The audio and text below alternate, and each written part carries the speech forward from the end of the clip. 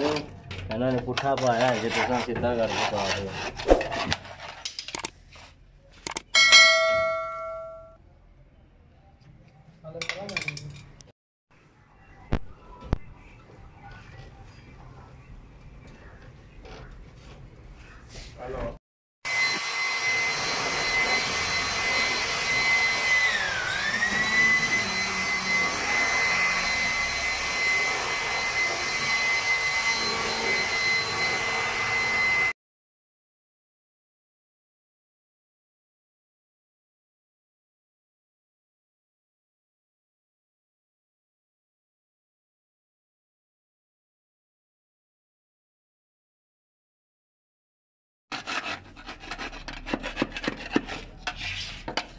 ਕੰਨ ਕੱਟ ਨੂੰ